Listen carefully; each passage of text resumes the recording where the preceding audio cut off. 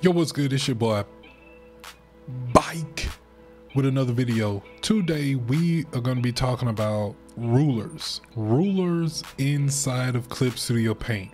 How do you use them? What kind of rulers do they have? What can you use them for? Let's get into it. Now the ruler tools look like a triangle. So you click on that and you have one, two, three, four, five, six, seven, eight. You have eight different ruler tools that you can use. And so first off, we'll start off with the linear ruler. So if you have, um, you're trying to get it, you're trying to um, set up your figure drawing or anything like that and you want it to be kind of proportional you know the same length as far as like I always get like the torso and the lower body. I want to get that kind of the the measurements i want to get that kind of right.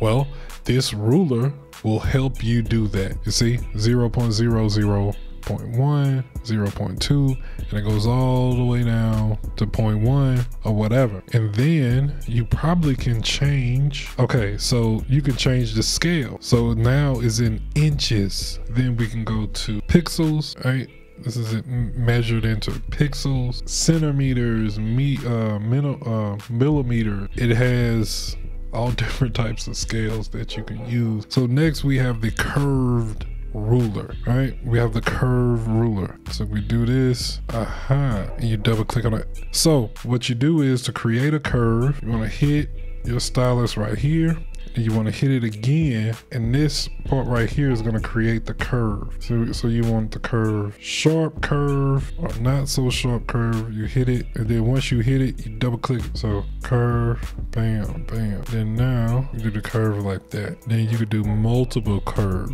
Then what you can do is click off and go to G pen and it mirrors that curve. So that's a great tool for like complicated curves and stuff like that. Let's go to the figure ruler. Now the figure ruler, basically a circle, right? And then you can go into properties and then you can edit the actual figure. So you can do a rectangle, you do an octagon. Let's see, okay, that's it. That's a polygon. One, two, three, four, five, six. Yeah, that's a polygon, not an octagon. But then you can change the roundness of the corners. So we could do this, and now the corners are more round. So then what we can do, we can go to our G pen, back to our G pen, and then simply copy those shapes.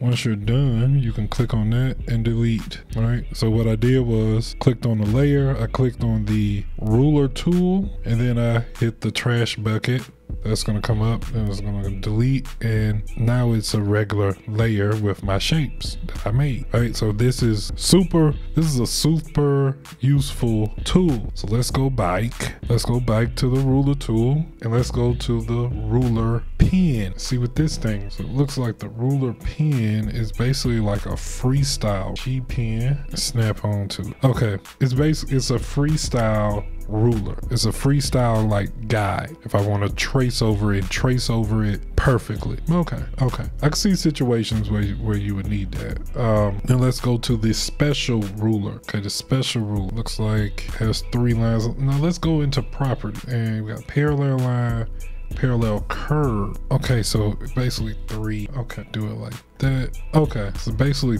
three lines. I don't know when I'm gonna use that. I mean, guess that's why they call it a special ruler. But then we have the guide.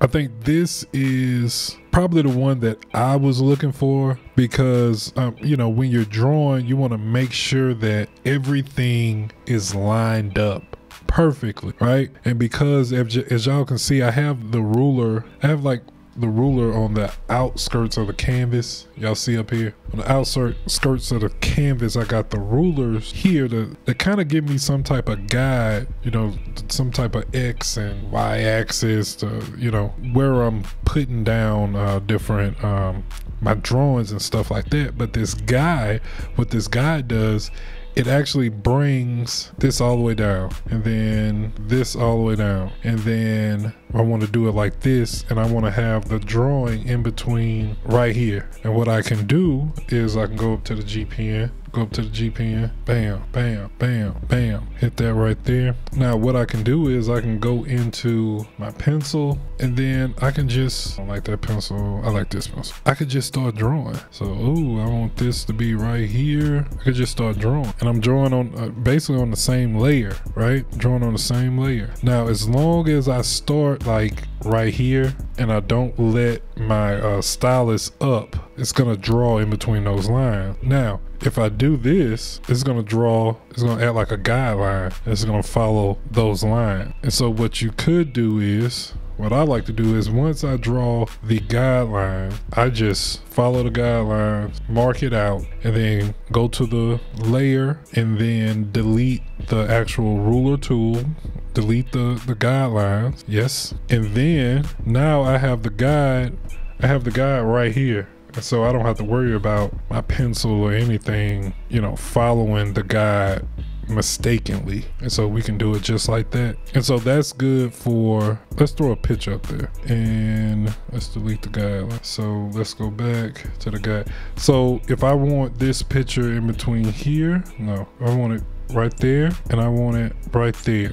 That's where the drawing needs to go. And so repeat steps, do it like that do it like that, delete it, bam. Now I'm free to draw and I know these are my two guidelines. And so you also you also can use this as a way to a way to see where your features fall. Like, okay, we know the nose. Let's see where this falls. Bam. So if if the top of the ear is supposed to fall where the bottom nostril is, we know that we need to go up some. So this is just a good way of like correcting your drawings. The the corner of the eye, you know, sometimes the corner of the eye meets up with the corner of the nose, the nostril of the nose, bottom of the ear.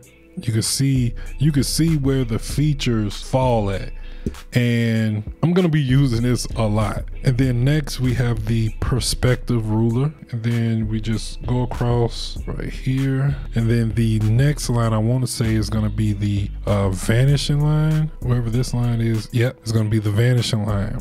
And so from this point on, this right here, all the lines supposed to fall right here at the vanishing line. So the only lines I can make, only lines I can make are lines that correspond to that.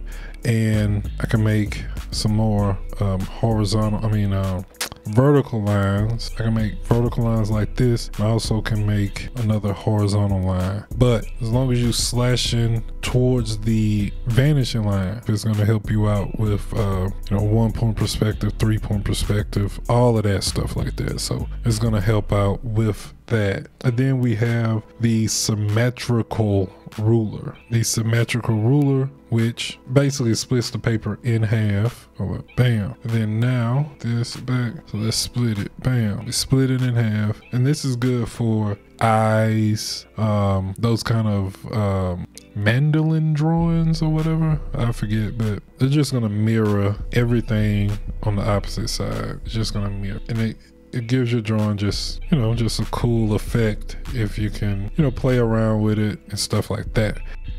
So i hope you got some type of value out of this video today. If you did hit that like button smash that subscribe button and as always i'll holler at y'all next time. Believe that